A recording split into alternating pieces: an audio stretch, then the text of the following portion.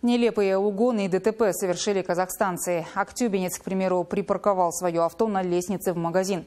Камеры наблюдения зафиксировали, как стоящая перед входом машина начинает съезжать на цокольный этаж.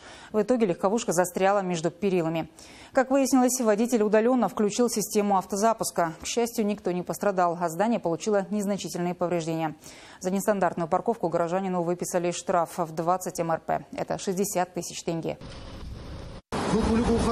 Водитель привлечен по статье 610 части 1 Кодекса об административных правонарушениях Республики Казахстан. Нарушение водителями транспортных средств правил дорожного движения, повлекшее причинение вреда здоровью людей, повреждение транспортных средств или иного имущества.